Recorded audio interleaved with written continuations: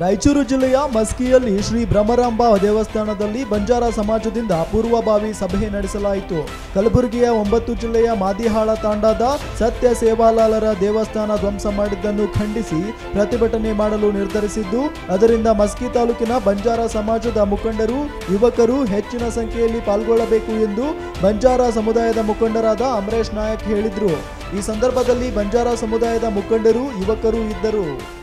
ಜಿಲ್ಲೆಯ ಮ್ಯಾದಿಯಾಳ್ ತಾಂಡದ ಶ್ರೀ ಸಂತ ಸೇವಾಲಾಲ್ ಹಾಗೂ ಮರಿಯಮ್ಮ ದೇವಸ್ಥಾನವನ್ನು ಧ್ವಂಸಗೊಳಿಸಿದ ಅಧಿಕಾರಿಗಳ ವಿರುದ್ಧ ಮತ್ತು ಸರ್ಕಾರ ವಿರುದ್ಧ ಮಸ್ಕಿ ಕ್ಷೇತ್ರದ ಮಸ್ಕಿ ಕ್ಷೇತ್ರದಲ್ಲಿ ಬೃಹತ್ ಪ್ರತಿಭಟನೆ ಹಮ್ಮಿಕೊಂಡಿದ್ದು ಬ ಮಸ್ಕಿ ಕ್ಷೇತ್ರದ ಬಂಜಾರ ಮುಖಂಡರು ಎಲ್ಲರೂ ಈ ದಿನಾಂಕ ಇಪ್ಪತ್ತೆಂಟು ಹನ್ನೊಂದು. ಹನ್ನೊಂದು ಎರಡು ಸಾವಿರದ ಹತ್ತೊಂಬತ್ತರಂದು ಹಮ್ಮಿಕೊಳ್ಳಲಾಗಿದೆ.